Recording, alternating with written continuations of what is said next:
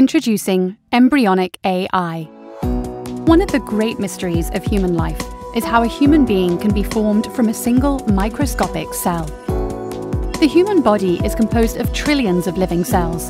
How does one cell and the pluripotent stem cells that follow replicate ever and over again with the cells branching out like the limbs of a tree, making all the thousands of cell types of a human being? Once the generation of a human being is complete, the cells fundamentally change. Put simply, they normally lose the ability to repeat the process of embryogenesis. Why?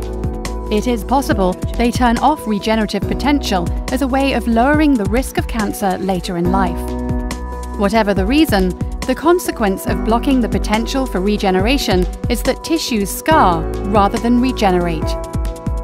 Unlocking this embryonic regenerative power an ability retained in some organisms that can profoundly regenerate damaged tissues, could transform medicine. People with serious injuries, age related degenerative disease, or even cancer could potentially benefit from understanding how to reactivate this regenerative potential. Deciphering the genes behind the mechanisms of embryonic development may even unlock the ability of tissues to regenerate themselves without the use of cell transplantation. This still conceptual technology is called induced tissue regeneration, or ITR. However, after decades of research and billions of dollars in government and private funding, we are only now seeing the beginning of clinical trials of products made from embryonic stem cells, or iPS cells.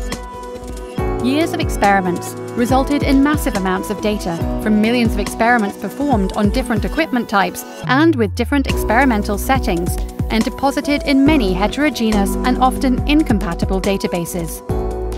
There are many attempts to link and centralize access to data in these databases, and resources like GeneCards and LifeMap Discovery are gaining in popularity.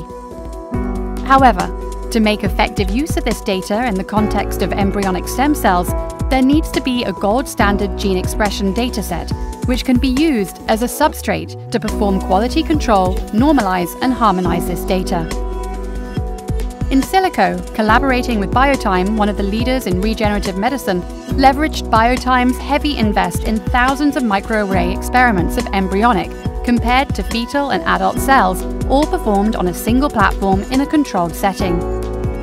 The collaboration utilized a technique called deep learning to develop a specialized artificial intelligence engine which can recognize, classify, and annotate biological samples by their developmental state.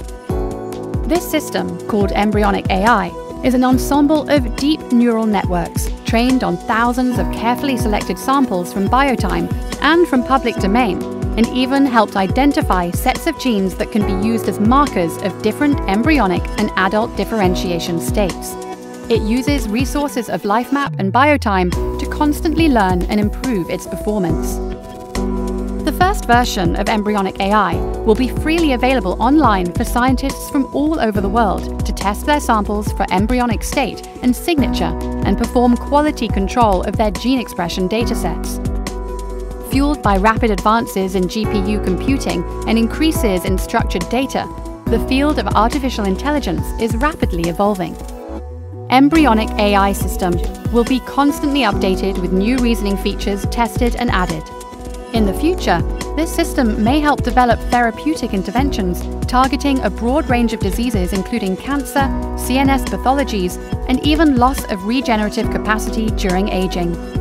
Please visit Embryonic AI and challenge it to analyze the embryonic state of your samples.